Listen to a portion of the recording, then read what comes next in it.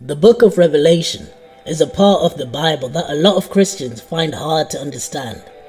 Therefore, a lot of people avoid the book of Revelation.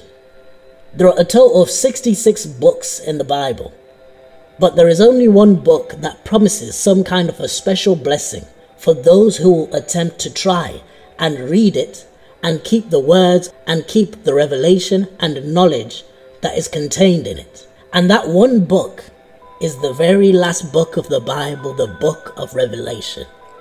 Revelations 1 3.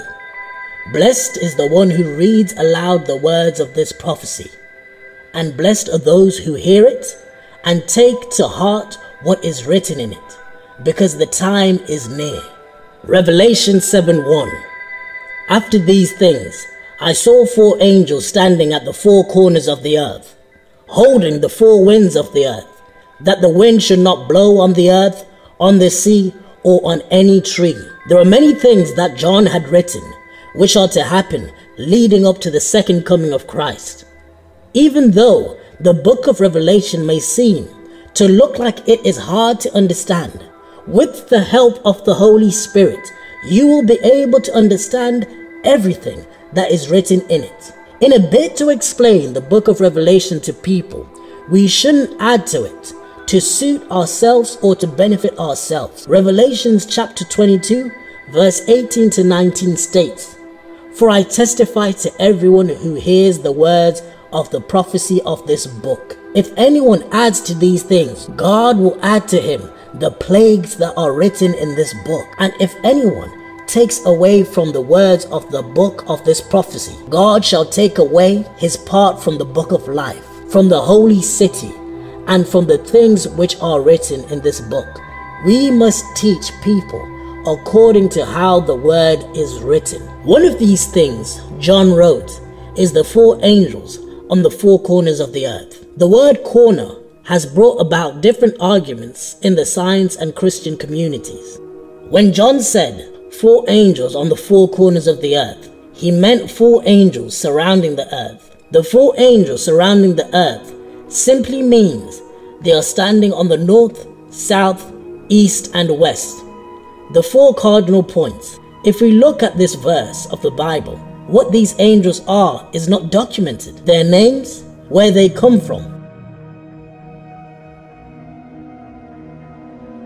who they are is not important. What is important is the task that they were given to do. And that is why their task has been stated in Revelation 7 1.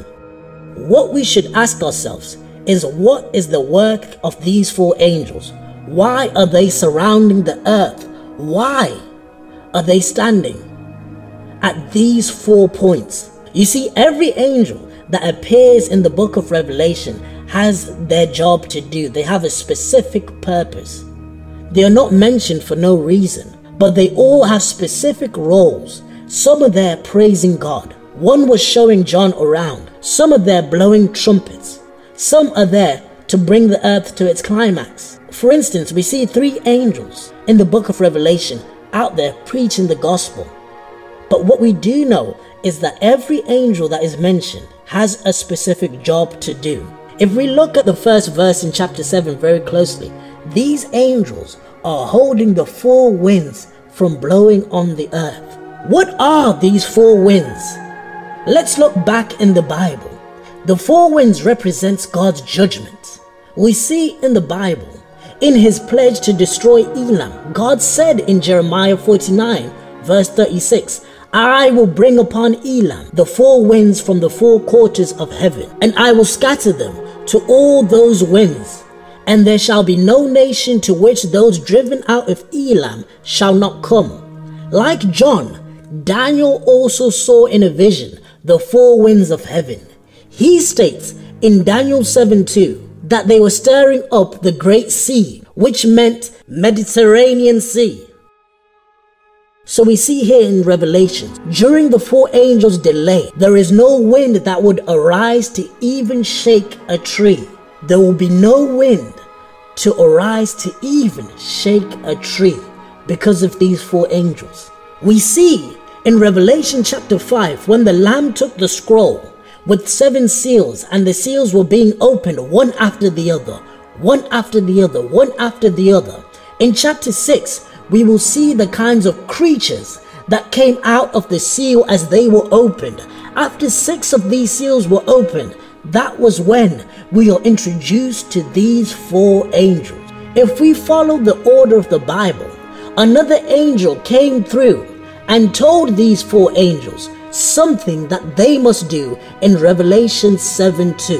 Then I saw another angel ascending from the east, having the seal of the living God, and he cried out and he cried with a loud voice to the four angels to whom it was granted to harm the earth and the sea. So here the Bible paints to us a picture where another angel, where another angel flies from the east to these four angels to tell them something. Now the next logical question for us to ask is what did this angel, what did this fifth angel tell these four angels? Revelation 7 3 answers this. The fifth angel said, Do not harm the earth, the sea, or the trees, till we have sealed the servants of our God on their foreheads. There is one thing this angel wants to do. He wants to give some set of people the seal of God. This set of people are the selected 144,000 from the tribes of Israel. Who are these 144,000 people? Why are they selected? What happened to the other people on earth? What about me? What about you? This will all be addressed in my next sermon. Now let's go back to the purpose of this fifth angel that came to address these four angels. The angel has the seal of God in his hands. What is the seal of God? In Revelation 14:1, it states, Then I looked, and behold, a lamb standing on the Mount Zion, and with him 144,000, having his father's name written on their foreheads. This seal of God has the name of God in it. It is the name of God written clearly on it, and nothing else. From Revelation 7 3, we see that where the seal would be placed, is on the forehead, which confirms it that the seal is the name of God on the foreheads of the 144,000 selected people. After reading these verses of the Bible about the four angels and what they were there to do, and the reason why they were standing at the different four points that they were standing, I deviated a bit and asked myself if the wind stopped blowing, what would happen? if the air that moves the high current on the earth, going to and from a different point to another, stops moving, what will happen to the earth? According to National Geographic, the energy that drives the wind originates with the sun, which heats the earth unevenly, creating warm spots and cool spots. Wind over the sea occur when inland areas heats up on sunny afternoon. This warms the air, causing it to rise. Cool air rushes from the ocean to take its place, and that, in its simple sense, is how wind is born. The immediate ceasing of all wind on earth would cause untold devastation. We rely on the wind for mild temperatures, seed dispersal, pollination, and long awaited rain in dry regions. The absence of wind to circulate both warm and cold weather around the world would result in a land of extremes. Land far away from large bodies of water would become deserts. Mass migration, mass migration would be an inevitable result of this as people would try to escape extreme weathers. Famine and food shortages would spread around the world rapidly. The wind is an important thing on the earth, but when the Bible mentions the wind, it means something else. It symbolizes destruction. For instance, my early example of the judgment of Elam in Jeremiah 49:36. The wind might be a good thing, but when God decides to use the wind, sometimes it is for destruction. We see this even in Mother Nature. Have you ever seen how terrifying a tornado is? It has the capability to destroy absolutely everything in its path. So, yes, the wind is a wonderful thing, but it can be also used for destruction. This is what the four angels will do. These four angels were stopped because of God's elect.